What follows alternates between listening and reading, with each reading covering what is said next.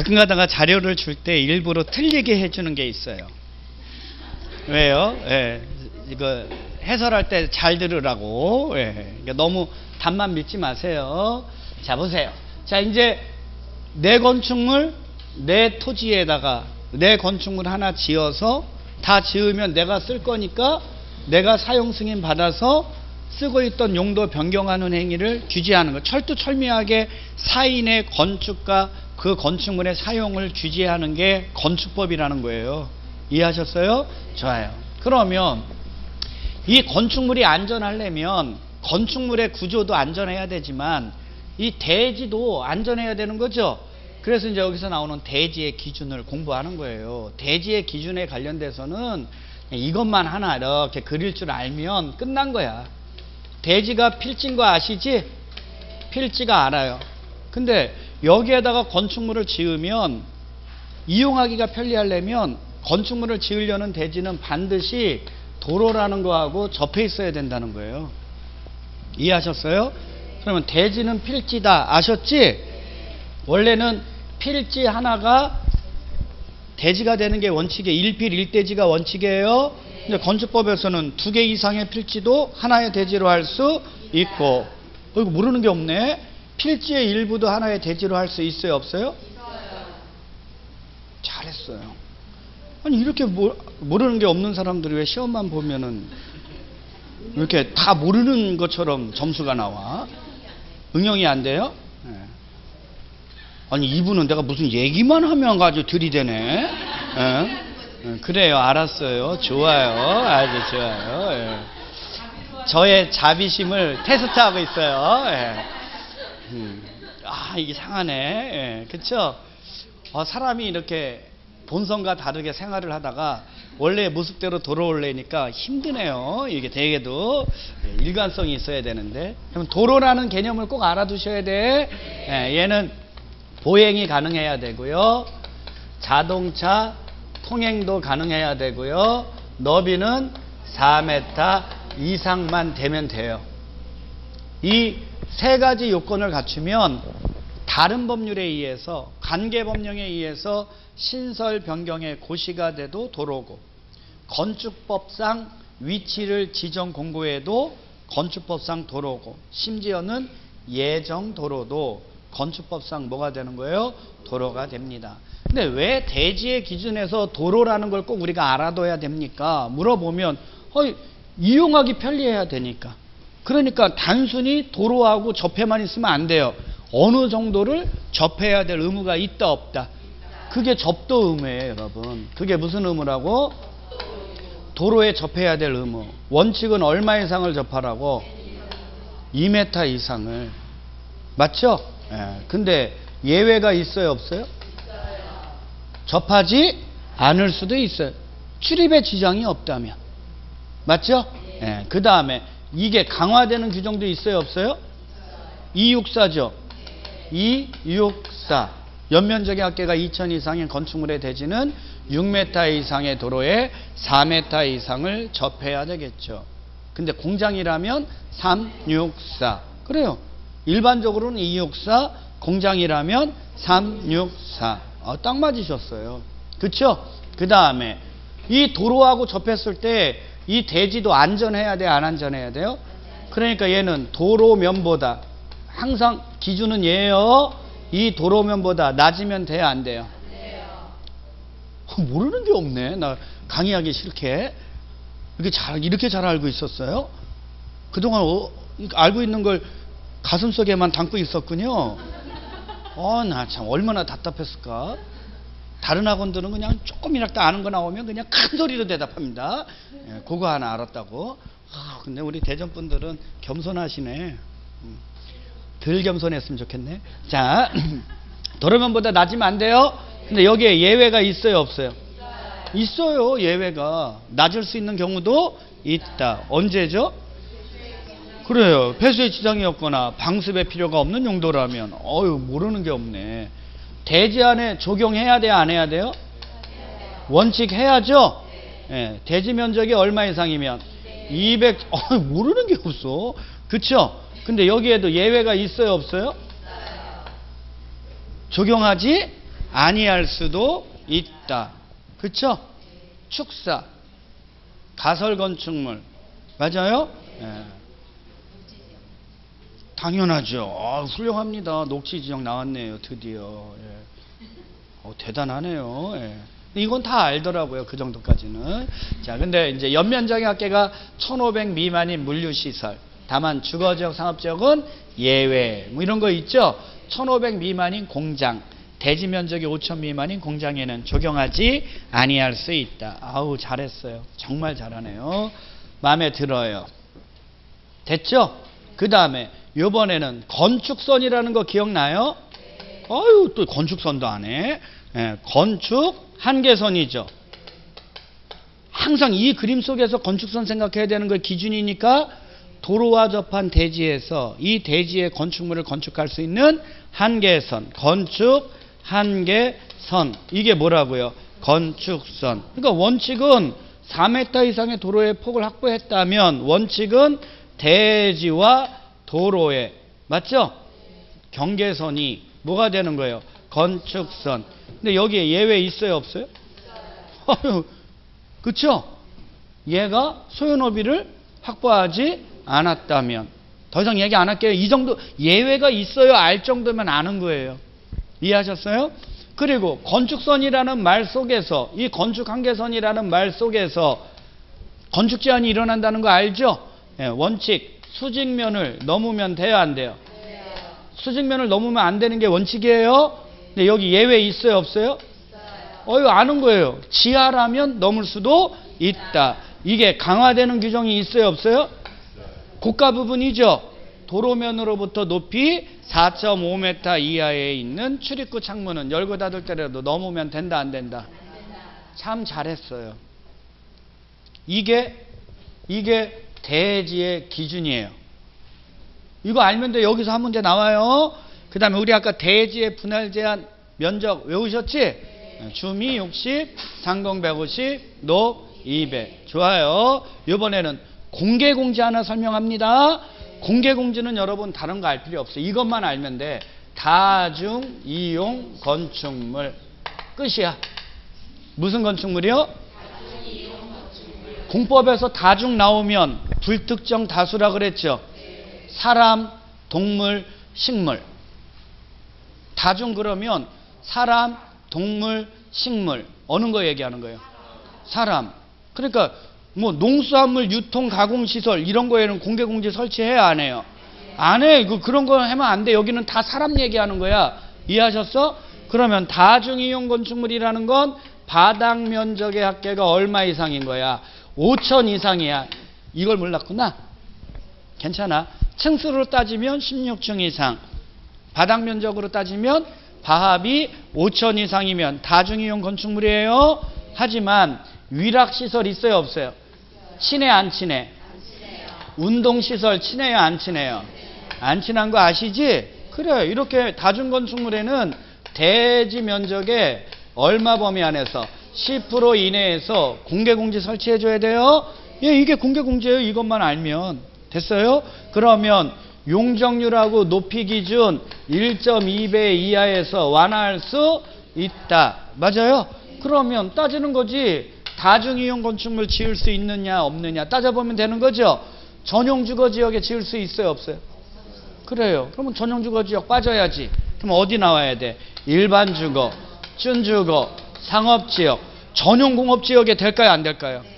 일반 공업 지역은 안 되지. 일반 공업 지역은 환경을 저해하지 않는 공업에 배치니까 다중이용 안 된다 그랬죠. 그럼 뭐밖에 없어요? 준 공업 지역. 이게 공개 공지. 공개 공지의 키워드는 얘만 알면 되는 거예요. 얘만. 이해하셨어요? 이해 가요 안 가요? 가요? 이해는 가고 있어요. 그렇죠? 조만간에 이제 크리스마스도 오겠죠. 자. 대지의 기준 아셨어? 좋아. 이제 마지막으로 이제 시험 문제 꼭 나오는 거 하나 가봐요. 그러면 우리가 지금까지 배운 게 이러한 대지에다가 건축물을 지어요. 그렇죠? 그랬을 때 이제 요 대지 넓이를 뭐라고 한다고요? 대지 면적이라고 합니다. 용어 정의만 공부하는 거예요. 대지 면적이란 대지의 수평 투영 면적. 맞아요? 근데 우리 아까 소유업이 미달됐을 때 대지 안에 건축선 지정되죠. 그랬을 때 그 도로 경계선과 대지 안에 지정된 건축선 사이의 면적은 대지 면적에 포함 제외. 어이구 대단하네. 모르는 게 없네. 행여 제가 갖고 있는 대지에 도시군 계획 시설인 도로가 있어. 내 대지 안에 도로가 있고 공원이 있어요. 그러면 그 도로하고 공원도 내 토지예요. 대지 면적에 포함돼야 되겠어요? 제외시켜야 되겠어요? 제외되겠죠. 뭘 또 포함시켜? 공원이 내 거라고 하면 돼요? 안 돼요? 공원 설치해, 도로 설치해 놨는데 내 거라고 해갖고 도로 내 건데 이- 얘가 막 이용하면 저 자식이 그러면서 가서 싸우지. 그래 안 그래요? 그러니까 대지 안에 도시군 계획 시설인 도로나 공원이 있으면 도로 공원이 차지하는 면적은 내 면적으로 포함시키면 돼야 안 돼요? 안 되지. 그건 당연한 거예요, 여러분. 이해하세요? 생각 좀 해요. 어, 괜찮아, 괜찮아. 자, 이제 건축물에 관련된 거 가는 거예요. 건축 면적이라는 거 있는 거죠? 건축 면적이란 됐어요? 외벽에 무슨 선? 중심선. 외벽 없으면 기둥이 있겠네요.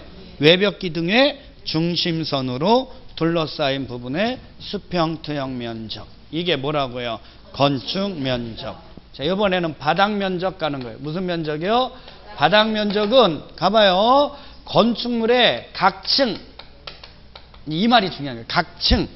또는 그 층의 일부라도 상관이 있어요, 없어요? 없어요. 각 층, 그 층의 일부라도 상관이 없어요. 됐나요? 벽, 기둥, 이와 유사한 것으로 둘러싸인 구획된 공간이 있으면 중심선으로 둘러싸인 부분의 수평 투영 면적을 뭐라고 한다고요? 바닥 면적이라고 합니다. 됐어요? 건축 면적, 바닥 면적 구별할 수 있으면 돼요. 자, 대신 공통점 갑니다. 공통점. 자, 생활에 생활의 편의를 위해서 편의를 위해서 부착된 부분 있죠? 부착된 부분은 건축 면적, 바닥 면적에 포함된다, 제외된다. 무조건 되고 제외되는 거예요, 여러분.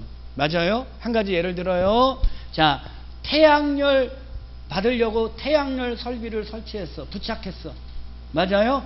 그 부분이 차지하고 있는 거 건축 면적, 바닥 면적에 포함될까요? 제외될까요? 지표면으로부터 1m 이하에 있는 부분은 포함 제외. 제외. 생활 생활 생활 폐기물 처리 이렇게 보관함 같은 거 있죠? 이런 거 포함 제외. 무조건 되고 생활 편의를 위해서 부착된 거는 바닥 면적, 건축 면적에 포함된다, 제외된다. 그것만 알면 되고요. 됐어요? 그 다음에 이제 바닥 면적과 관련된 거 갑니다. 거실의 용도로 쓰이지 않는 공간은 제외예요. 거실의 용도로 쓰이지 않는 거. 맞아요? 승강기탑 제외. 정화조 제외. 굴뚝 제외. 공동주택의 지상층이라도 전기실 등으로 이용해요. 포함 제외. 제외. 무조건 되고 거실의 용도가 아니면 제외. 맞아요? 그럼 여기서 한 가지 잘 알아두자. 다락이 있어요, 없어요? 다락이라면 뭐가? 층고가 뭐가요? 얼마 이하? 1.5m 이하. 경사진 지붕이라면 1.8m 이하. 거실의 용도로 안 쓰이는 거죠. 제외입니다. 이거 하나 알아두시면 되고요. 두 번째는 필로티 구조래요. 필로티래. 뭐, 뭔 티래요? 필로티. 어느 학원에서 나는 아이스티가 좋은데 막 그래. 아휴, 내가 진짜 아주 자비로워서 참았어요, 내가. 예. 필로티가 공용으로 쓰이면 무슨 용으로 쓰이면 공용으로 쓰이면 포함 제외. 설명 안 할게요. 알죠? 자, 그 다음에 발코니 있어요, 없어요? 발코니 노대 있죠? 얘네들은 발코니 면적에서 외벽에 접한 가장 긴 길이 있죠? 여기에다 얼마? 1.5m를 곱한 면적. 요 면적은 포함 제외. 오케이. 잘했어요. 이 정도 알면 돼요. 자, 그 다음에 이제 얘를 잘 알아둬야 되는 게 연면적 때문에 그렇죠. 연면적은 하나의 건축물의 각층, 각층 바닥 면적의 합계. 이걸 뭐라고 한다고? 네, 이거 잘 알아두셔야죠. 이게 연면적이에요. 따라서 지하층도 연면적에 포함돼. 연면적만 계산하면. 맞아요? 그 근데 용적률 아시지? 용적률은 대지 면적에 대한 연면적의 비율을 얘기합니다. 맞아요? 그래서 용적률 계산할 때 이 연면적에는 제외되는 게 있어요, 없어요? 지, 주, 대, 피. 지하층, 주차장, 대피 공간 면적, 피난 안전구역의 면적은 용적률 계산할 때 연면적에서 제외됩니다. 자, 잘 알아두셔야 돼. 얘 계산하는 문제 꼭 나옵니다. 자, 역으로 응용, 응용하면 연면적 구하는 게 나와요. 맞아요? 연면적은 얘 구하는 거죠. 대지 면적 곱하기 용적률 이거를 100으로 나누면 되지. 맞아요? 맞아요? 근데 작, 작년에는 이거를 하나 더 응용한 거예요. 연면적 중에 바닥 면적은 그러면 얼마입니까? 이거 구하는 거예요. 그러면 연면적 구, 구한 거를 뭐로 나누면 돼? 층수로 나누면 각 층의 바닥 면적 나와요, 안 나와요? 작년에는 이게 나왔어요. 여기까지 나왔어요. 시험 문제가. 아시겠냐고? 그래요. 잘했어요. 완벽한 거예요. 되게 잘하네, 우리. 어, 다음 번 모의고사, 다음 주 모의고사 보는 거 너무 기대돼요. 다 막 80점 맞을 것 같은 느낌이 들어. 어, 이렇게 대답 잘하고 다음번에 50점 맞으면 무슨 망신이야, 이게? 어, 대단히 잘하네. 어, 잘했어요. 아니, 진짜 칭찬해 주는 거예요. 너무 잘하네. 자, 층수 알아요? 층수. 건축물에, 됐어요? 지하층은 층수에 포함 제외. 자, 옥탑 부분인데 거실 용도로 안 쓰입니다. 얘 건축 면적에 얘 수평적 면적 합계가 8분의 1 이하인 건 층수에 포함 제외. 제외. 층의 구분이 명확하지 않네요. 몇 메타마다? 4메타마다 하나 층. 부분에 따라 층수가 다르면 가장 많은 층수가 그 건축물의 층수. 이거 시험도 잘 나오니까 이거 알면 돼요. 됐어요? 어, 완벽하네. 좋아요. 잘했어요. 아주 잘하시네. 이게 건축법이에요. 철두철미하게 건축물과 관련돼서 개인적인 걸 규제하는 게 뭐라는 거예요? 건축법. 여기에서 여러분 한 여섯 문제 나와. 일곱 문제 중에서. 됐어요? 맞히면 되죠? 맞히세요. 여기에 관련돼서 나온 거는 절대 틀리지 마세요. 됐나요? 자, 이게 건축법을 한번 쭉 정리해 드렸어. 이해하셨어? 그러면 그대로 놔둔 상태에서 요거를 놔둔 상태에서 정리하는 거예요. 건축법은 이러한 용도의 건축물을 이러한 기준을 갖추고 있는 대지에다가 됐어요? 뭐 하는 거예요? 건축하는 거. 대수선도 있는데 대수선도 알아두세요. 근데 그냥 하면 안 되고 뭘 받아서 하고 허가를 받아서 하고 다 했다면 너 뭐 받으라고 사용 승인을 얻어서 하고 사용 승인 받은 용도를 용도를 변경하려면 용도 변경에 허가 신고 변경 신청을 해라. 맞아요? 예, 딱 하나 해놓고 알아두시면 이게 건축법. 그래서 건축법을 건축물에 관한 일반법이라고 얘기하는 거예요. 이해하셨어요? 자, 근데 이제 건축법이 아니라 여러분들이 공부 안 해서 어려워하는 주택법. 진짜 쉬워요. 주택법 하는 거예요. 예, 얘는 주택법은 모든 건축물을 대상으로 하는 게 아니에요. 건축물 중에서도 뭐만? 주택. 배웠잖아. 단독주택, 공동주택. 뭐로 나누면? 구조로. 사용 목적으로 나누면 주택. 그래서 주택법에서는 이래요. 세대 세대원이 장기간 독립된 주거 생활을 영위할 수 있는 구조로 된 건축물의 전부 또는 일부와 그 부속 토지를 뭐라고 한다고? 주택. 그래서 구조로 나누면 단독주택, 공동주택이 있어요. 맞아요? 근데 얘는 이 주택을 건축하는 게 아니라 뭐 하는 거예요? 건설하는 거예요. 이 건설의 의미를 알아야 돼. 주택을 뭐 하는 거예요? 건설을 해서 자 보세요. 건설한 주택을 자기가 쓰는 게 아니야. 자기가 쓰는 게 아니라 주택을 건설해서 필요한 국민에게 뭐 해준다는 거예요? 공급. 말에 다른 얘기를 하면 팔아먹는다는 얘기입니다. 그래서 국민의 주거 안정하고 국민의 주거 수준을 향상시키기 위해서 만들어진 법이 무슨 법이라는 거예요? 이게 건축법하고 틀린 거예요. 이해하셨어요? 그래 안 그래요? 그러면 주택법에서는 공동주택에 기숙사가 있으면 안 돼. 왜 얘는 국민들에게 공급해 줘야 되니까 기숙사는 됐어요? 주택법상 공동주택에 포함된다 제외된다. 아실 수 있겠어요 이거? 정말 알아요? 그리고 어떻게 해서든지 주택법에서는요 건축법에 의한 주택은 이거밖에 없지만 주택법은 국민들에게 주택을 공급해 줘야 돼. 그러니까 어떻게 해서든지 공급해 줘야 되는 주택들을 많이 만들어내야 되겠죠. 그래서 이제 주택법에서 만들어지는 주택들이 있는 거예요. 그 중에 하나가 어떤 거냐면 세대 구분형, 세대 구분형 공동주택이라는 게 있어요. 우리 공동주택 아까 배웠죠?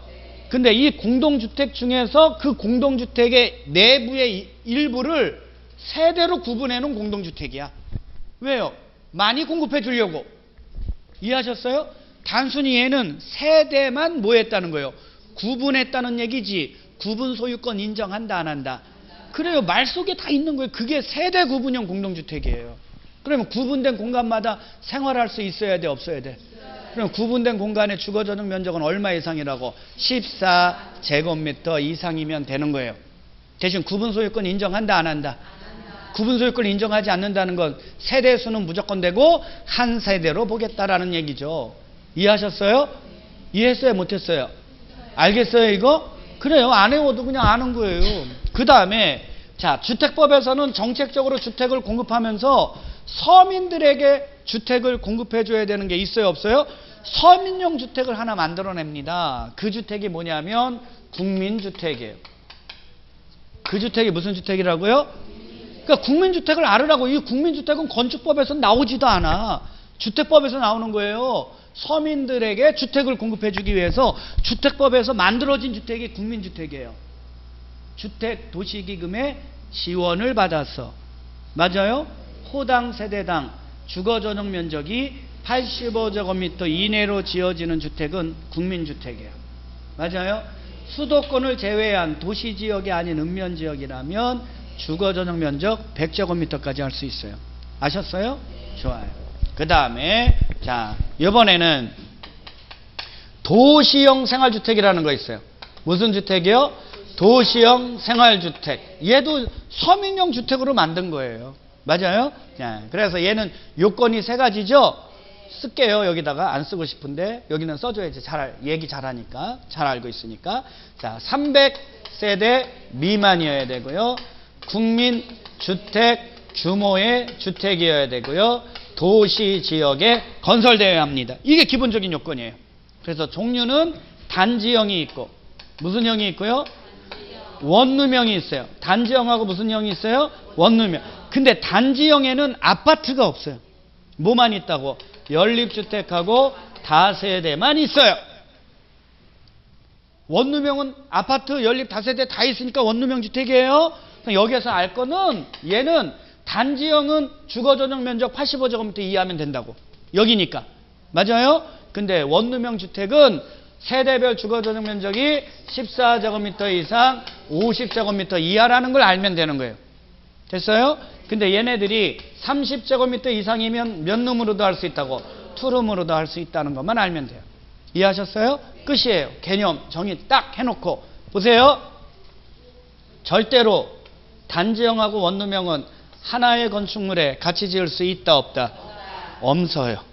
됐죠? 그리고 또 하나는 자 여기 도시형 생활주택하고 도시형 생활주택하고 도시형 생활주택이 아닌 주택 있죠?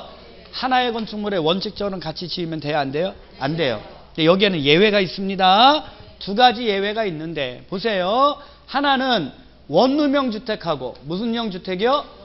꼭 원룸형 주택이어야 돼요. 원룸형 주택하고 도시형 생활주택이 아닌 주택 있죠? 아닌 주택 한 세대는 몇 세대요?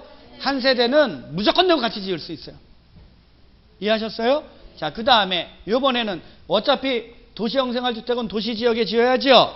도시지역 중에서 준주거하고 무슨 지역이라면 상업지역이라면 준주거하고 무슨 지역이라면요? 여기 아니라면 원룸형 주택 있죠? 원룸형 주택하고 도시형 생활주택이 아닌 주택이 있죠? 세대수와 관계없이 같이 지을 수 있어요. 구별하실 수 있겠어요? 그 다음에 도시형 생활주택은 서민형 주택이에요. 얘는 분양가 상한제가 적용돼요, 안 돼요? 안 돼요. 분양가 상한제가 적용되지 않는 주택은 도시형 생활주택하고 한 가지가 더 있어요. 관광특구에서 50층 이상 또는 높이 150m 이상인 공동주택에는 이 두 가지의 만큼은 분양가 상한제가 적용된다 안 된다. 여기에서 알면 돼요. 이해하셨어요? 그 다음에 준주택 알아요? 준주택? 네, 준주택은 다 알더라고요. 준주택. 오노, 오노, 다기. 오가 뭐죠? 노는 노인, 복지, 주택. 다는 다중생활시설. 기는 오케이. 이게 주택법에서 나오는 주택이에요. 이거 아시겠어요? 아시겠냐고요? 이거 알아야 돼? 아, 그럼 이거 알면 끝이야. 이 주택을 뭐 한대요? 건설한다. 이 주택을 뭐 한대요? 그럼 여러분, 건설한다는 얘기는 주택은 건축법은 건축물을 건축하죠. 필지가 대지잖아요. 얘는 건설하니까 필지가 아니라고 뭐를 알아야 되냐? 주택 단지를 알아야 돼요. 이래서 주택법에서는 뭐가 나온다는 거야? 주택단지가 나온다는 거예요. 주택단지가 건설은 필지에다가 주택 짓는 거 아니에요. 어디에다가? 주택단지에다가 보세요. 30호 30세대 이상의 주택을 건설합니다. 이해하셨어요? 몇 호요? 30호 30세대. 그러면 주택만 짓느냐? 아니요. 절대로 안 됩니다. 주택을 지으면서 이 주택 이용하는데 불편함이 있으면 돼야 안 돼요. 그래서 반드시 얘 이용하는데 불편함이 없도록 딸리는 시설도 같이 져줘야 돼요. 그게 뭐냐면 부대 시설이에요. 그럼 이것만 필요하냐? 여기 사람들 입주해서 살잖아요. 살면서 편리하게 생활할 수 있도록 생활을 위한 복리시설도 같이 설치해줘야 돼요. 무슨 얘기인지 아시겠어요? 예?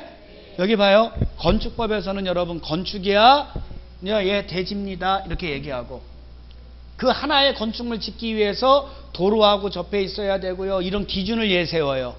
됐어요? 근데 주택법은 주택을 뭐 하는 거예요? 건설하는 거예요. 그래서 걔는 건축법은 대지 대지 기준 나눠서 설명하지만 얘는 주택단지 안에 다 이거 되게 통합된 게 들어와야 되는 거야. 이해하셨어요? 예? 예? 그게 부대시설, 복리시설인 거야. 이해하셨냐고. 그리고 얘는 한 방에 몇 호 지는 거라고. 30호, 3세대 이상. 이해하셨어요? 얘는 이게 통합된 개념으로 들어와요. 주택단지에서. 이해하셨냐고. 이 주택단지라는 개념만 잘 이해하면 건설이라는 개념이 이해가 가는 거고 게임은 끝난 거야. 이제 주택법은 이제 모를 게 없어요. 됐어요? 좋아요. 그러면 이런 것도 한번 생각해 봐요. 여기에 이렇게 하나의 주택단지가 있고 또 옆에도 또 하나의 주택단지가 있어. 그쵸? 근데 이 사이가 철도로 돼 있어. 철도로. 얘하고 얘 하나의 주택단지로 하면 될까요? 안 될까요? 우리 애 여기 가다가 죽어. 절대 하나의 주택단지로 하면 안 돼요. 여기가 고속도로예요. 될까요? 안 될까요? 여기가 자동차 전용도로예요. 될까요? 안 될까요? 상식이죠. 그쵸? 여러분, 일반 도로야. 무슨 도로? 1 다음에는 2가 나와야지. 얘는 20m 이상. 도시군 계획 예정도로야. 8m, 8글자 이상이니까 8m 이상. 하나의 주택단지로 하면 된다, 안 된다? 그래요. 이거는 상식. 이번에 하나 새로 생긴 거. 하나의 주택단지가 있어요? 그쵸?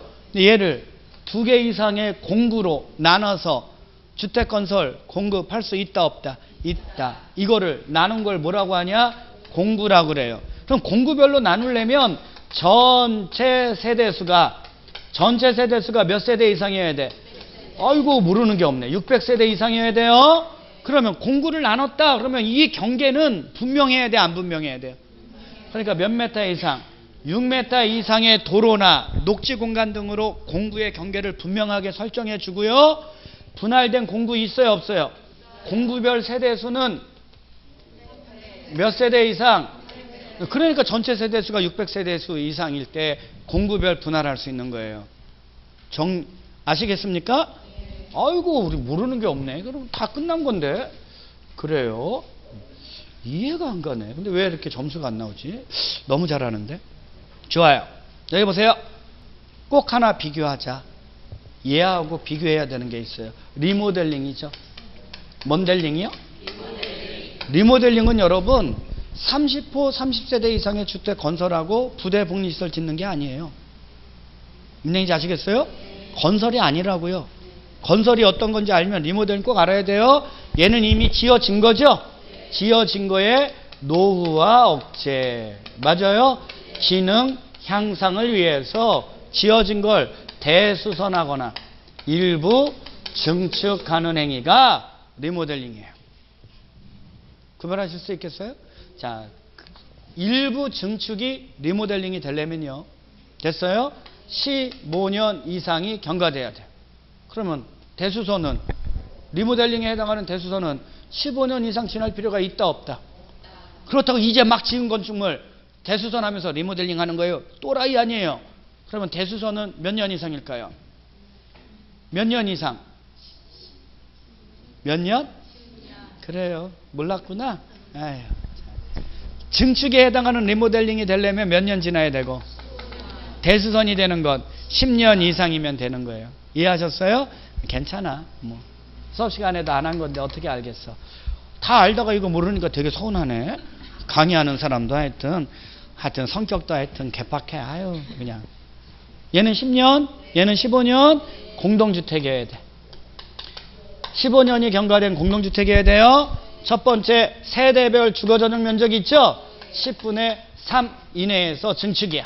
근데 주거 전용 면적이 85제곱미터 미만인 공동주택 있죠? 얘는 10분의 4까지 증축할 수 있어요. 세대별로. 여러분 공용 부분이 있지 공용 부분.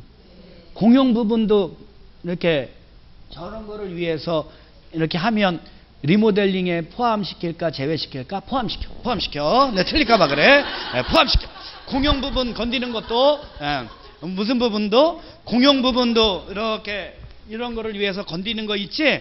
그것도 리모델링에 들어가. 그래 그래. 아유 내가 빨리 대답하고 말해야지 이거. 괜히 삐져. 자 그럼 요거를 자 세대별로 저, 저, 증축할 수 있는 걸 다 도해 다 합산한 범위 안에서 기존 세대수 있죠? 기존 세대수 100분의 15 이내에서 세대수를 증가하는 것. 세대수를 뭐 하는 거? 증가하는 것도 리모델링이에요. 대신 증가되는 세대수가 요 범위 안에서 증가되는 세대수가 30세대 이상이잖아요. 그럼 얘도 사업계획 승인 받아야 돼. 예외적으로 이때만. 왜 증가되는 게 30세대 이상이니까. 원래는 얘는 사업계획 승인 대상인데 아닌데 아닌데 이럴 때 30세대 이상이면 건설하고 똑같다. 맞아요? 그렇게 알아두시면 되고 세 번째는 수직 증축도 할 수 있어요 없어요? 15층 이상이면 3개층 14층 이하면 됐어요. 이게 리모델링이에요. 아시겠어요? 그러면 건설하고 리모델링 구별하셨어? 끝난 거야. 그러면 끝난 거지. 자, 기본적인 개념이 들어왔어요. 그러면 주택법은 이렇게 주택을 건설합니다. 맞죠? 건축 허가를 받을 수 있어요, 없어요? 없지. 건축 허가 받으면 안 되지. 틀리잖아, 벌써. 그러니까 얘는 뭐 받으라고? 사업 계획 승인을 받아야 돼. 뭘 받아야 돼요? 그러면 여러분 건축법은 필지야. 근데 얘는 주택단지로 들어와야 돼. 그러니까 이 주택 건설을 하고 부대 복리시설을 설치하려면 막대한 대지가 필요해요, 안 필요해요? 그러니까 승인권자를 대지 면적을 기준으로 해서 나눠요. 대지 면적이 10만 이상이면 큰 주택단지 만든다는 거 아니에요? 그럴 땐 누구한테 승인받으라고? 도지사. 10만 미만이면 시장군. 그래서 대지 면적 갖고서 승인권자를 나누는 거야. 이해하셨어? 이해하셨어? 그래.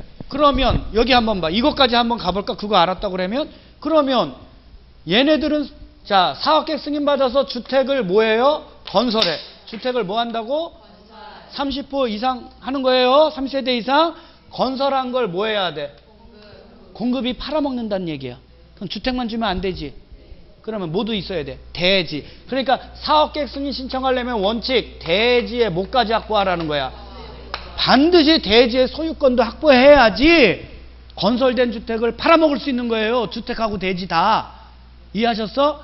그래서 원래는 자 사업주체가 사업계획 승인 신청하려면 대지에 뭐를 확보하라고? 소유권을 확보해야지.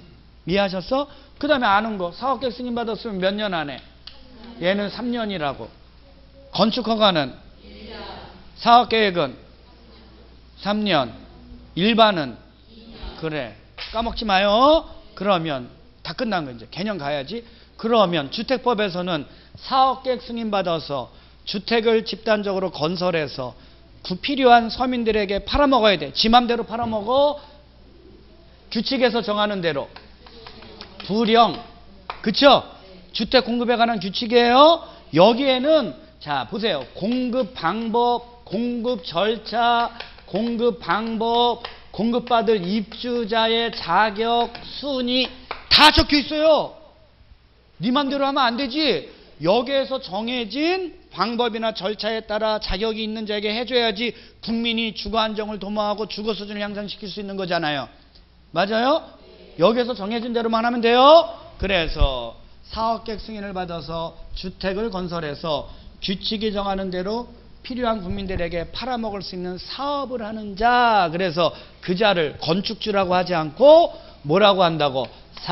사업주체라고 해.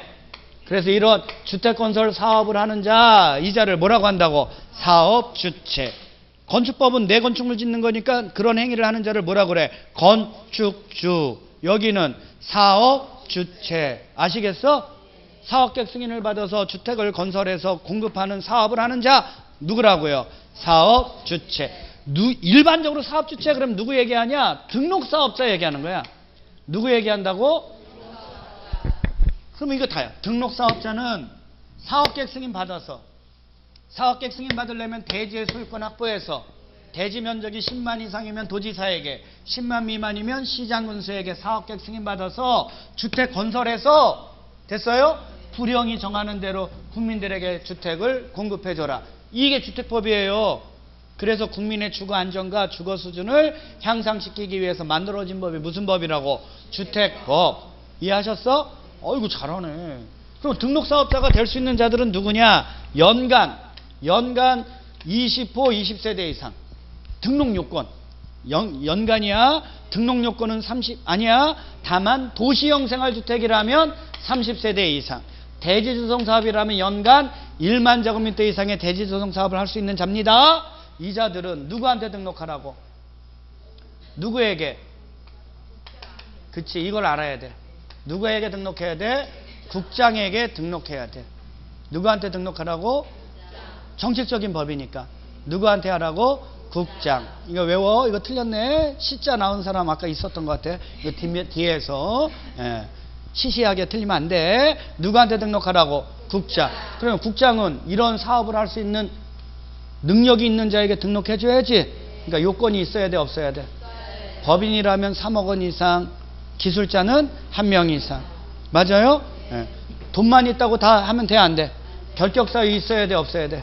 결격 사유가 없어야지 국장한테 등록할 수 있어요? 이게 누구라고? 등록 사업자. 원래는 주택법은 이거를 설명하는 거예요. 등록 사업자가 이렇게 하는 거 말하는데 맞아요? 그러면 등록 사업자는 자기가 주택 건설해서 팔아먹는다는 얘기 아니야. 근데 이상한 사업 주체가 하나 있어. 주택조합이라고. 무슨 조합이라고? 무슨 조합? 주택조합은 여러분 얘네들이 주택을 건설해서 다른 사람한테 파는 거 아니야. 자기네들 주택 마련하려고 주택 건설 사업하는 거야.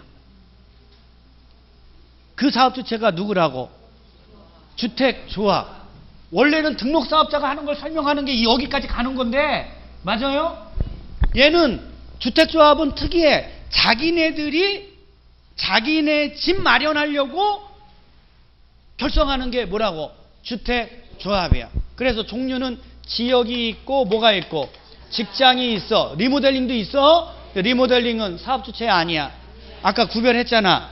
끝인 거야. 그러면 지역이나 직장이 주택조합을 결성을 해요.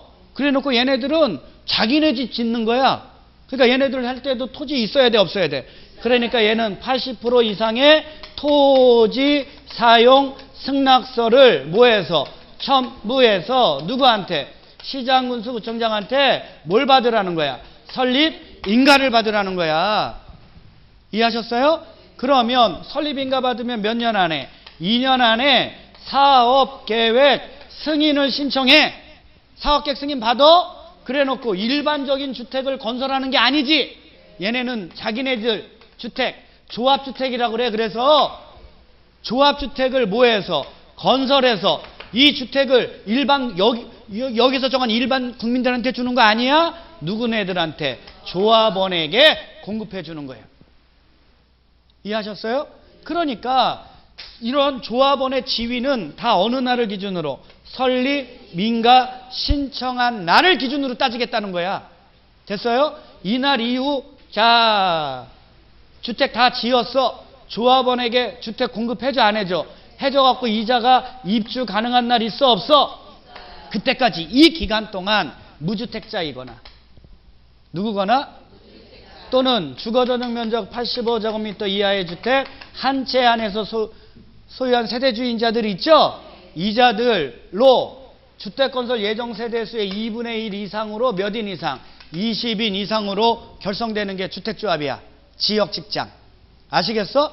그러면 얘네들은 이날을 기준으로 조합원의 지위를 인정하잖아. 그러니까 조합 설립 인가를 받고 나면 조합원을 교체하거나 신규로 가입하게 하면 돼, 안 돼? 언제까지? 사업계획 승인을 받을 때까지. 원래는 안 돼? 근데 죽었다? 이 사이에 뭐 했다고요? 어떻게? 조합원의 증서 꽉 쥐고 죽었어. 얘기인지 아시겠어요? 그러면 상속받은 자는 당연히 될 수 있어요, 없어요? 걔는 규제를 못 합니다. 이런 것도 여기 있는 거야. 이해하셨어?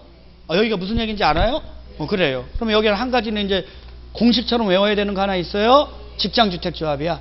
얘는 국민주택을. 등록사업자가 건설한 국민주택을 뭐 하기 위해서 공급받기 위해서 설립할 수 있다 없다? 있다. 국민주택 공급 직장. 이렇게 외우라 그랬어? 그러면 시장군수구청장에게 뭐하고? 신고하고 이때 조합원은 누구만? 무주택자. 그냥 공식처럼 외우면 돼. 국민주택 공급 직장 신고 무주택자. 이해하셨어요? 좋아요 등록 사업자하고 주택조합하고 공동으로 사업을 시행할 수 있다. 그래서 등록 사업자가 뭐까지 안 돼? 시공까지 안 돼. 그러면 등록 사업자는 시공자 책임 당연히 져야죠. 자신의 기착 사유로 조합원에게 손해를 입혔다면 손해배상 책임도 진다. 여러분 투기가열지구 알아? 투기가열지구가 지정돼 지역에 지정될까? 직장에 지정될까? 그렇지. 투기가열지구에서 설립 민가를 받은 지역주택조합이 조합원을 모집해 투기가 투기 이런 거 막으려면 이런 자격을 있는 자에게만 조합원의 지위를 인정해야지. 신청서의 접수 순서에 따라 조합원의 지위를 인정하면 된다 안 된다. 오케이. 이게 주택조합이야. 주택조합을 왜 여러분들이 따로 공부해야 되는지 아시겠어? 어? 알아야 돼. 그러면 얘는 이게 끝이야. 주택조합은 이제 이 이후에는 여기 이런 데 나오면 안 돼. 얘네들은 이 조합원에게 주는 주택을 짓기 위해서 아주 특수하게 만들어진 사업주체니까. 이해하셨어? 이제 그다음부터의 논리는 다 누구 거야? 등록 사업자 거야. 주택조합, 근데 여기 시험 문제 꼭 나와. 그 주택조합은 별도로 딱 알아두면 돼요. 잘했어. 그러면 등록 사업자가 주택 건설한대. 돈 많이 필요해, 안 필요해? 어마어마하게 필요하죠? 그러니까 너 돈 마련할 수 있도록 주택 상환 사채를 발행할 수 있다. 그러면 조합은 주택 상환 사채 발행해? 아니야. 자기네 자기네 돈 들여서 하는 거야. 그러니까 주택 상환 사채는 조합하고 관련이 있어 없어? 누가 관련됐다고? 그래. 그럼 얘는 주택으로 상환하는 거잖아. 그러면 등록 사업자는 시공을 해야지. 자기가 주택 건설해야지. 그리고 건설한 주택으로 돌려주는 거잖아. 그러니까 시공 요건을 갖춰야 된다는 거야. 법인으로서 5억 원 이상 건설업 등록하고 있어야 돼? 그래도 믿어 못 믿어? 그러니까 뭐까지 쓰라고? 보증까지 쓰면 장관에게 승인받아서 사채 발행할 수 있어요 없어요? 못 믿으니까 무슨 증권이야? 기명증권. 얘는 양도할 수 있어 없어? 얘는 여기서 정해진 대로만 가져가야지 엉뚱한 자가 가져가면 돼 안 돼? 안 돼. 조합원의 지위도 여기 있는 조합원이 가져가야지 다른 자가 가져가면 돼 안 돼? 절대 안 되는 거야. 하여튼 주택법에 의해서 건설되는 주택을 공급받을 수 있는 지위는 자격이 있는 자만 가져가야지 없는 자에게 팔아먹는 거 인정한다고 안 한다고 절대 안 해. 다 양도 제한을 받아. 이해하셨어요? 얘는 상환 기간은 몇 년을 초과하면 안 돼. 3년을 초과하면 안 돼. 발행일로부터 됐어요? 예, 나중에 주택 지어서 공급 계약 체결이 가능한 날까지 3년 이해하셨어? 그래요. 이해하셨냐고? 그래 이해하면 돼. 자 그다음에 이번에는 등록 사업자가 돈 마련했어 이거로 됐죠? 마련했어요? 그래서 주택 건설 사업하려면 대지에 모두 확보해야 되는데. 근데 얘가 얘 돈 들여서 이거 사야 돼? 이해하셨어요? 근데 어우 등록 사업자가 착해. 국민주택 규모의 주택을 50% 이상 건설한대. 서민형 주택을 반 이상 짓는데 얘가 그럼 이거 촉진시켜줘야 돼? 하지 말라고 말려야 돼? 그래. 그래? 어우 착해라. 그 다음에 등록사업자하고 주택조합하고 공동으로 시행할 수 있다 그랬어? 없다 그랬어? 그러면서 등록사업자가 그 조합주택을 건설한대. 조합주택을 서민형 주택이잖아요. 이거 촉진시켜줘야 돼? 막아야 돼? 어이구 착해. 근데 어차피 얘가 이거 하려면 대지 소유권 확보해야 되잖아. 근데 거기에 국공유지가 있어. 얘가 원해. 이것 때문에 그러면 국공유지를 이자들에게 우선 매수 임차할 수 있다고 없다고 이해하셨어? 그래 이게 이거야. 그럼 매수 임차하면 몇 년 안에 공사에 착수해야 돼? 공사 착수 몇 년이야? 2년이라 그랬잖아. 안 하면 환매나 임대 계약은 취소할 수 있는 거지. 왜 이렇게 나오는지 아시겠어? 그래서 이 두 가지를 알면 돼. 됐죠? 그 다음에 이번에는 더 착해. 등록사업자가 국민주택 건설한대. 어이구 착해라. 그렇다고 수용권 인정해 안 해? 안 해. 그런데 국민주택 지으려면 도시개발사업 시행자에게 채비지를 매각을 요구할 수가 있어요. 그러면 도시개발사업 시행자는 채비지 청 면적 2분의 1 범위 안에서 등록사업자에게 국민주택을 건설하는 등록사업자에게 그 채비지를 매각해 줄 수가 있어요. 싸게 비싸게. 원칙 무슨 가격을 기준으로? 감정 가격을 기준으로 이렇게 양도해 줄 수 있어요. 근데 이 주택이 국민주택이 소형 국민주택이야. 임대주택형 국민주택이야. 어유 돈 남겨 먹으라고 남기지 말라고. 그럴 때는 뭐로 하라고? 조성 원가로도 할 수 있다. 이 무슨 얘기인지 알아요? 어유 완벽하네. 그래 이거야 이거. 쉽잖아. 이 사업 주체를 구별할 줄 알면 주택 건설하고 이, 이 의미 알면 이해하셨어? 아이고 잘했어. 그치? 그래서 이제 등록 사업자가 이제 사업을 하려면 이거를 확보하는 게 문제가 되는 거예요. 이해하셨어요? 예? 근데 이제 도와주는 거야. 지구 단위 계획의 결정이 필요하잖아. 예? 그러면 80% 이상만 뭐 가 져도 사용권 무슨 건?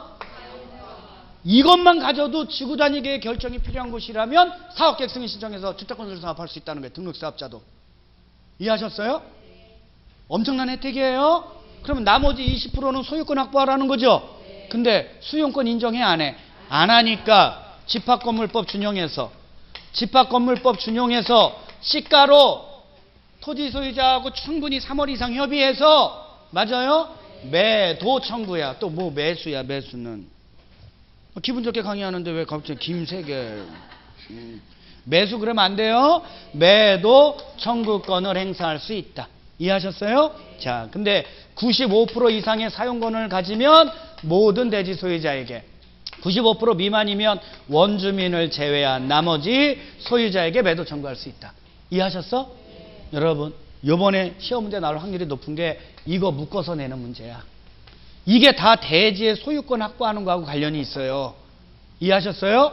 등록 사업자가 주택 건설 사업 하기 위해서 국공, 국민주택 규모 50% 이상 짓는 거, 조합주택 지을 때 국공유지 우선 매수 임차할 수 있는 거, 어, 국민주택 건설할 때 채비지 우선 매각할 수 있는 거, 매도 청구권.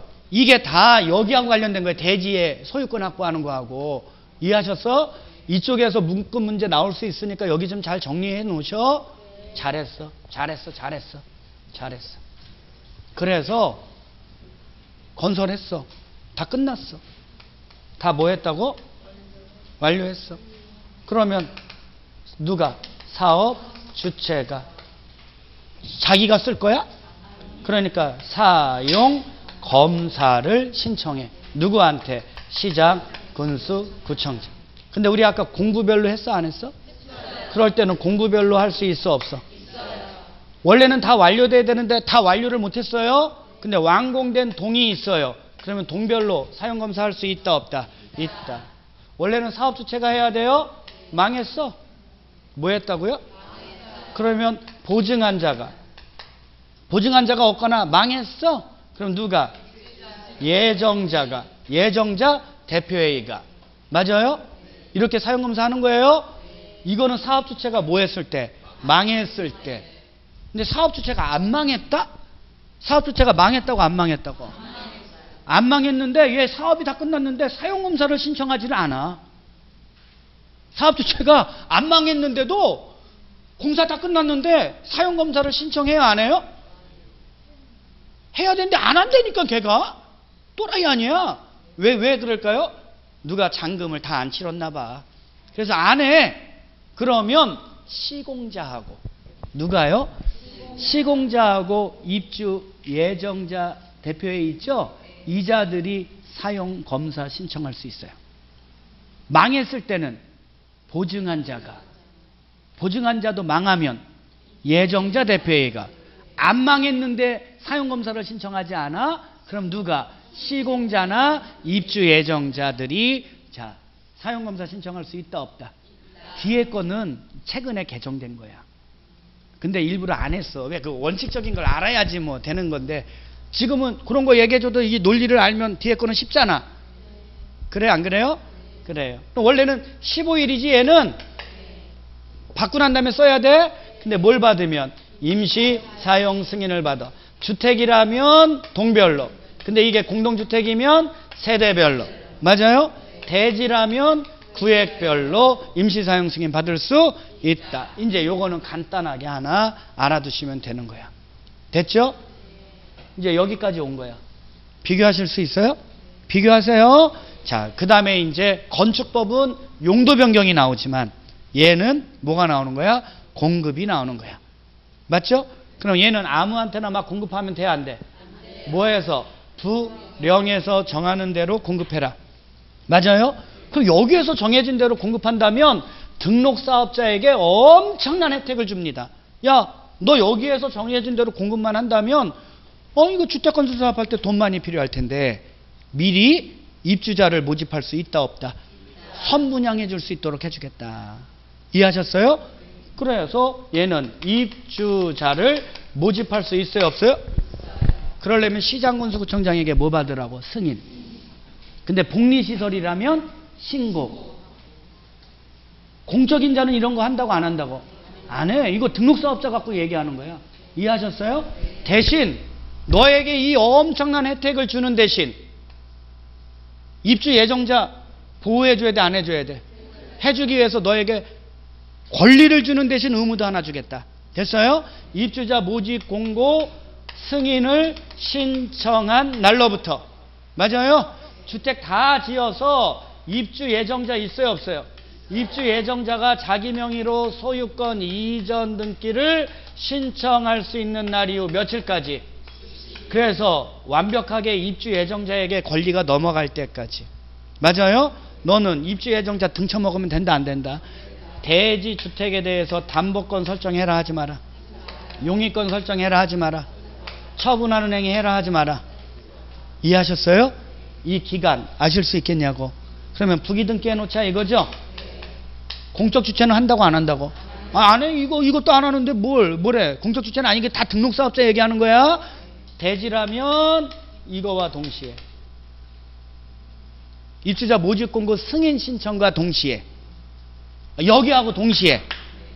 건설된 주택이라면 소유권 보존 등기와 동시에 부기 등기 하는 거예요. 그럼 우리 아까 배웠네. 주택조합은 입주자 모집해 안 해?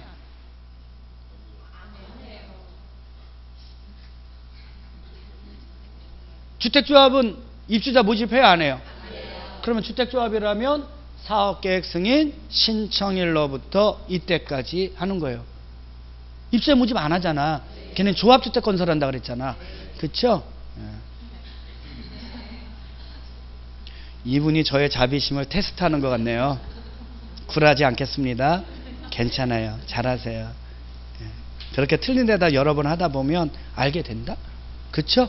예. 왜요? 쪽팔려서 알게 되는 거예요. 예. 괜찮아요. 많이 쪽팔림을 당하세요. 예. 다른 학원에서는 1월 달부터 되게 쪽팔림을 당한 사람이 있어요. 그 중에 10명이 있으면 7명은 잘해요. 근데 아직도 3명은 계속 쪽팔리고 있어요. 되게 웃기잖아요. 그쵸? 7명이 해당되기를 바랍니다. 예. 화이팅! 화이팅! 예. 아, 어휴. 자, 부기 등기 후에 하지 말라는 등기 하면 그 등기는 뭐라고요? 무효고요. 요거 위반하면 사업 주체는 2년 이하의 징역, 2천만 원 이하의 벌금형에 처해지는 거예요. 맞죠? 자, 이제 다 왔어. 이제 이게 중요한 거 하나 배웠고 그 다음에 이제 시험들 잘 나오는 게 이거죠. 주택 상황 자체는 양도할 수 있다 없다. 지역 직장 주택 조합은 양도할 수 있다 없다. 없다. 없잖아. 그쵸? 예, 얘 부정한 방법으로 취득해서 주택 공급받으면 된다 안 된다. 얘 팔아먹어라 팔지 마라. 팔기 위해서 중개하면 된다 안 된다. 중개하기 위한 광고하면 된다 안 된다. 예, 공급 질서 교란하는 금지 행위하지 마라. 다만 주택 상환 사채권자가 조합원이 돈이 필요해서 저당을 맡기는 건 규제 대상이다 아니다. 사망했다. 상속받는 건 규제 대상이다 아니다. 아닌 거죠. 이거 당연히. 그쵸? 상속과 저당은 포함 제외. 제외. 오케이. 거기까지 가는 거예요. 여기까지 아시겠어요? 중요한 거 이거예요. 중요한 거. 그 다음에 이제 분양가 상한제하고 투기가열지구 설명해줘요. 알 수 있어요. 해줘요? 그래요. 원하신다면. 어, 자비, 자비하고 이렇게 또 이거 설명해 주는 거하고는 좀 다른 건데, 뭐 해주겠습니다. 자, 보세요. 분양가 상한제라는 게 뭐예요? 서민들에게, 누구에게? 서민들에게 싼 주택 주겠다는 얘기 아닙니까? 그래, 안 그래요? 그거예요. 그래서 사업객 승인 받아서 건설한 주택 중 일반인에게 공급하는 공동주택이에요. 무슨 주택이요? 분양가 상한제는 무슨 주택이라고? 공동주택이라고. 일반인에게 공급하는 공동주택인데 싸게 해주기 위해서 공공택지. 무슨 택지요? 네, 공공택지에서 일반인에게 공급하는 공동주택은 공공택지가 뭔지 아시지? 공적 시행자가 수용 방식에 의한 공익사업에 의해서 개발 조성되는 공동주택 건설 용지가 공공택지예요. 그러니까 이 공공택지에서 주택 건설해서 공급하는 공동주택은 가격 비싸게 받아먹으면 된다고 안 된다고 아, 택지 싸게 줬잖아. 그러니까 너희들도 너무 비싸게 받지 마라. 이해하셨어요? 이런 가격은 다 분양가 격에 제한을 받는다.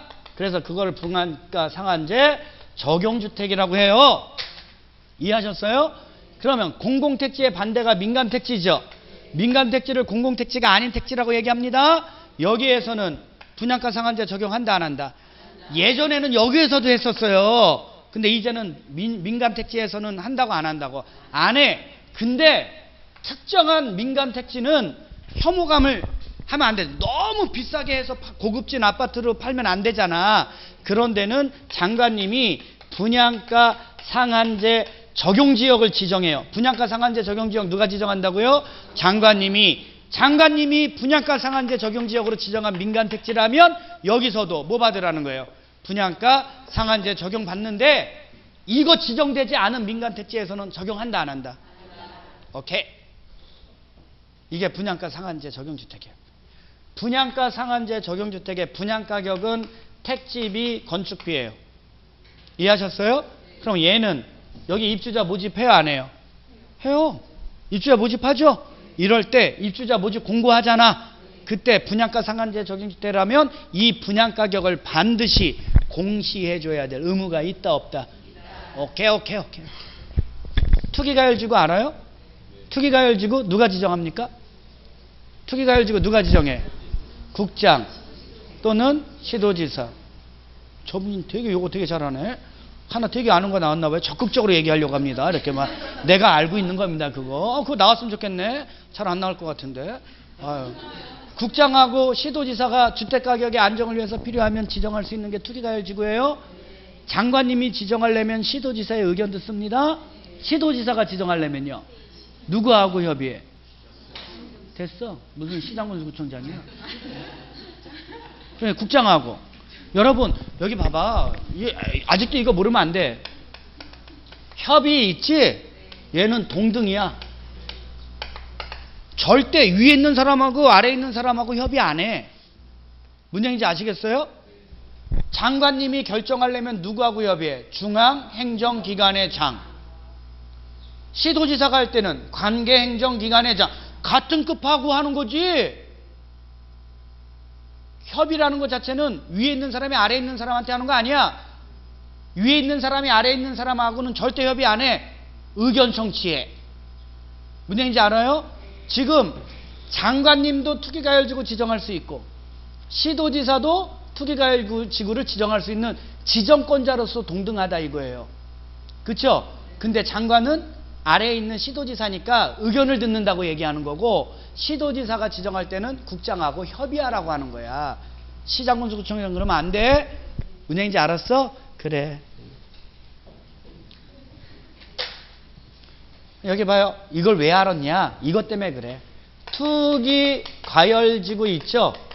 여기에서는 입주자로 선정된 지위. 이게 전매 제한을 받아요. 그럼 투기가열지구 안에 건설된 주택은 전매 제한 대상이다 아니다. 아니라고. 건설돼서 공급될 주택에 입주자로 선정된 지위, 분양권, 입주권 있지? 이것만 전매 제한을 받아. 투기가열지구라면. 이해하셨어요? 근데 분양가 상한제 적용주택 있죠? 얘는 그 주택도 건설된 주택도 전매 제한을 받고 그 주택의 입주자로 선정된 분양권도 전매 제한을 받아요. 이것만 구별할 줄 알면 돼요. 됐어요?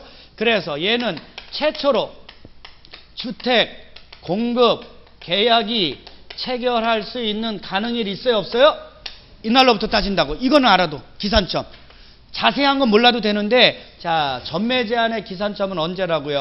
최초로 주택 공급 계약 체결이 가능한 날로부터 맞아요? 10년 이내에서 자 법령으로 정한 기간 내에 전매 제한 받는 거예요. 몰라도 돼 이거 뒤에 왜? 지금 투기가열적으로 지정된 곳 있어 없어? 없고 민간 택지 중에 분양가 상한제 적용받는 거 있어 없어? 그러니까 이런 거 물어보면 그건 또라이예요. 맞아요? 대신 이거는 알아두세요. 원래는 전매 제한 받는데 전매 제한이 제외되는 경우 있어요 없어요? 예를 잘 알아두세요. 갑니다. 세대원 전원이 세대원 전원이 다른 시군으로 이전할 때 맞아요? 다만 수도권으로 이전하는 것 상속받은 주택으로 세대원 전원이 이주할 때 맞아요? 해외로 이주할 때 몇 년 이상 2년 이상 해외에 체류할 때 누가 전원이 이걸 알아두세요. 자, 그 다음에 이혼해서 배우자에게 뭐 할 때? 이전할 때. 이혼했는데 배우자야? 이상하네. 그쵸? 그놈이지. 이혼해서 그놈한테 이전할 때. 이럴 때는 전매 제한 받는다고 안 받는다고.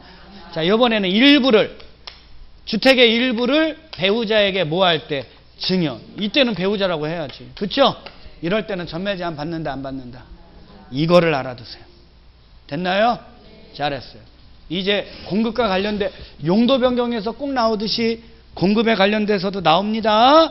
이 정도 정리하시고 마지막으로 이제 주택거래 신고제 별도로 공부하는 거죠? 누가 지정한다고? 신고지역 누가 지정해요? 국장은 지정할 수 있다. 자, 외웁니다. 이거 너무 쉽잖아. 직전월. 오케이. 3월. 오케이. 근데 이게 월 평균 거래량 증가율로 나오면 오케이. 1년간 전국의 두 배. 누가 요청해야지? 누가 요청? 누구? 시장, 군수, 구청장. 이거 하나 알아두면 돼요.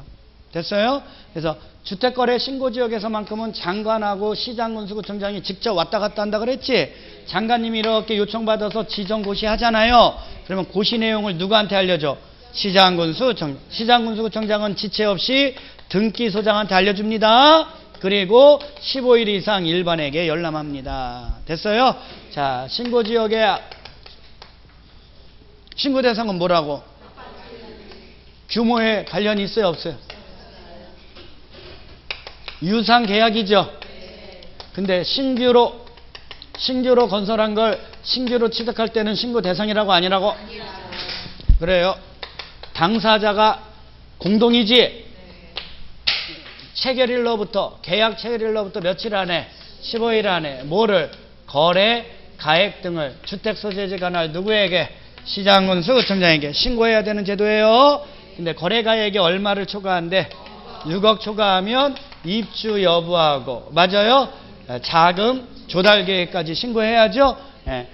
확인한 후 신고증명서 교부해 줍니다. 그러면 검인받은 것으로 봅니다. 신고증명서 교부했으면 시장군수구청장은 세무간서장에게 그 사실을 알려줍니다. 그러면 세무간서장은 그거를 통해서 세금 받아낸다고. 맞아요? 이거를 위반했네요. 뭐 했어요? 과태료입니다. 뭔 태료? 거짓 신고했어요. 무슨 신고? 뭐를 거짓 신고했다는 거예요? 얘를 거짓 신고했다는 거예요. 그러면 취득세 5배 이하. 신고를 안 했어요? 게을리했어요? 그러면 500만 원 이하의 과태료. 거짓말하는 게 나쁘다 그랬죠? 알아두면 돼. 과태료. 여기에서 한 문제 정도 나와요. 얘는 공법에서도 나오고 중개사법에서도 나와요. 그러니까 알아두면 일타쌍피 문제. 맞아요? 예. 여기에서 일곱 문제 나와요. 오늘 건축법하고 주택법 이렇게 한번 비교해 줬는데 차이점 아시겠어요? 뭐를 알면 내가 얘를 분명히 구별할 수 있을 건지 감 잡았어요? 못 잡았어요? 잡아야 돼. 필지냐 주택단지냐? 필지냐 주택단지냐? 맞아요? 예? 용도 변경이냐 공급이냐야. 이해하셨어요? 생각 잘해요. 예, 잘해서 한번 생각을 해봐요. 여기 왜 틀리냐고 너무 쉬운 건데. 근데 이런 거 변별하지 않고 막 공부하려면 너무 어렵잖아요. 다 외워야 된다고 생각하잖아. 그런 게 아니야. 이제 한번 잘 생각해 봐야 돼. 예? 예? 그러면 문자로 공부하지 말고 이거 알았으면 이렇게 생각해. 아, 내 대전광역시 여기에다가 21층 이상짜리 건축물 접어야지. 여기에다가 21층짜리 뭐 어떤 용도? 예를 들어서 뭐, 뭐 위락시설 지어야지. 그럼 누구한테 허가 신청해야 돼? 대전 광역시장한테. 이해하셨어요? 이해했냐고요? 근데 내가 여기에다가 그냥 아유 내 집, 집 집이나 하나 지어야지. 그러면 누구한테? 구청장 여기 있는 구청장이 어, 여기 무슨 구야? 서구청장님한테 신청하는 거야. 이해하셨어요? 근데 내가 여기에다가 30호 이상의 주택, 두대 복리시설 지어야지. 그러면, 그러면, 누구한테 사업계획 승인 받아야 돼? 뭘또 국장이, 아이, 대전 광역시장이 무조건 되고, 여기는 사업계획 승인은 무조건 되고, 대, 대전 광역시장이지, 여기는. 10만 이상이든 10만 미만이든 대전 광역시장은 대전 광역시장이지? 뭘또 국장이 또, 되게, 아, 됐어요. 아, 괜히 얘기했네, 그냥. 뭘 삐져요, 내가요? 아니에요. 릴렉스. 알았으면, 맞아요? 그러면, 아, 내가 여기에다 이렇게 광역시장님한테 사업계 승인 받아서 주택 건설하려면 돈 많이 필요하겠다는 생각 들어요, 안 들어요? 그럼 나 사채 발행해야지. 그쵸? 그럼 나는 등록사업자여야 된다는 거네? 시공요건 갖춰야 된다는 거네? 맞죠? 예. 아, 그러면서, 아, 도저히 택지 여기 너무 비싸. 택지 값이. 그래서 내가 택지를 취득하기가 힘들어. 그러면 국민주택 규모의 주택을 몇 프로 이상? 50% 이상 건설하면 여기에 국공유지 있으면 좀 획- 획득할 수 있어요, 없어요? 그쵸? 근데 이분이 알밖에 하고 있어. 그 중에서. 맞아요? 그러면 이분한테 달래는 대로 다 줘야 돼요. 돈을 수용을 못하니까. 그래, 안 그래요? 근데 이분이 계속 더 높은 가격만 붙는 거야. 차라리 이러느니 누구한테? 광역시장 찾아가갖고 여기를 다니게 역으로 지정해 주세요. 왜냐인지 알아요? 그러면 이 사람이 갖고 있는 것 조금밖에 없을 거 아니에요? 내가 95% 이상의 사용권, 소유권 확보했잖아. 맞아요? 그러면 매도 청구할 수 있어요, 없어요? 원주민이든 뭐든 다 매도 청구할 수 있어요. 그래서 이 사람이 안 팔어. 그러면 재판부 날 가는 거예요, 매도 청구는. 강제적으로 내가 살 수 있다고 없다고. 이게 이런 제도예요. 무슨 얘기인지 알아요? 그런 거 한번 잘 생각해서 한번 해봅시다. 전체적인 걸 그리고 이렇게 한번 해보세요. 내가 한다고 생각하고. 맞아요? 예. 일주일 후에도 지금과 같은 기억력이 살아있어서 건축법, 주택법 잘했으면 좋겠네요. 됐나요? 자, 오늘은 여기까지 갈게요. 고생 많으셨습니다.